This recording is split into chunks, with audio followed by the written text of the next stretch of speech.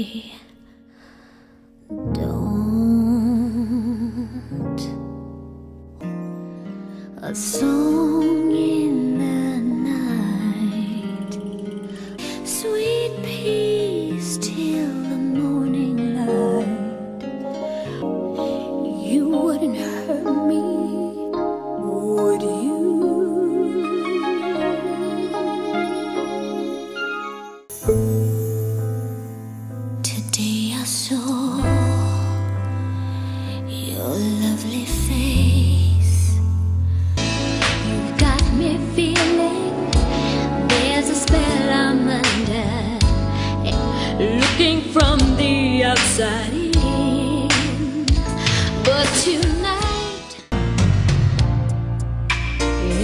this.